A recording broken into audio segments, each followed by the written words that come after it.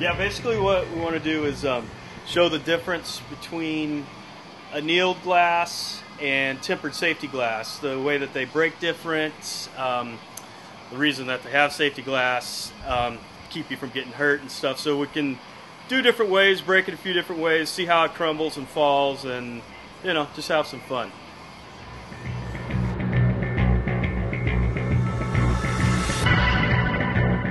Just, just to give a general idea of what this this is uh, an old shower panel that has tempered glass in it, and you know it's pretty strong. I can hit it.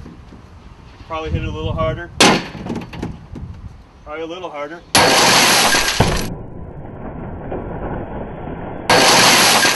Or not. See, that's what it takes. So as you can see, not too bad. Comes apart in a lot of different pieces. Let's have some fun with this. Five pounds worth of sludge, just in case you happen to be showering with the sludge. I don't know what you get away with.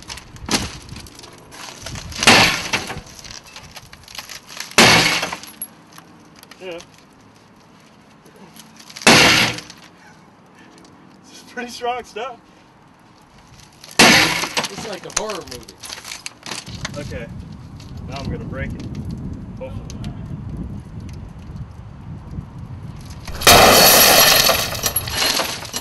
Uh-huh. Woo! You know, we'll try this at home, but doesn't hurt. Yeah. So if it, you happen to be taking a shower and it breaks, you know, you you you will survive. But later on, when we're breaking some different stuff, you you can see why you might not survive.